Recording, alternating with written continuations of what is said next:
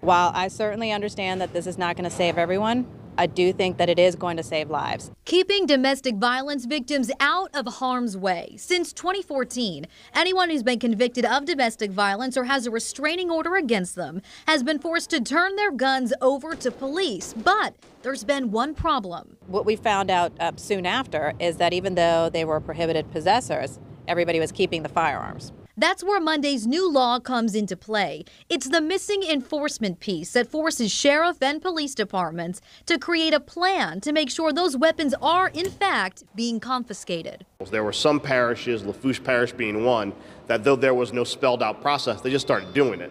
In Lafourche Parish, in that period of 2014 till now, they haven't had one individual domestic violence murder um, since that law went into effect. So, State Senator J.P. Morrell, who sponsored this new law, says Lafourche Parish has become the pioneer of proper enforcement, making sure the weapons are turned over when the charges are filed. When you're charged, they take the firearm away so that during that prosecutorial process, you don't have an angry former spouse, former boyfriend, former girlfriend out there armed looking to do bad things.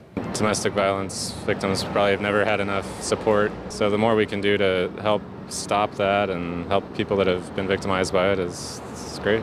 But this new law also puts new responsibility on those who sell guns when someone who's been convicted of domestic violence tries to purchase a weapon. Right there is a huge red flag. And for anyone to just say, I don't know anything about that, I, I'm, I'm going to turn my back to that.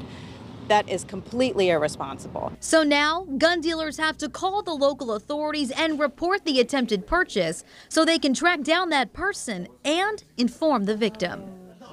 Law enforcement agencies all across the state have from now until January 1st, 2019 to create policies and procedures to make sure those guns are actually being confiscated. And coming up on WDSU News at 6, I'll have more information on how and when those convicted can get their firearms back. Live in the CBD tonight, Juliana Mazza, WDSU News.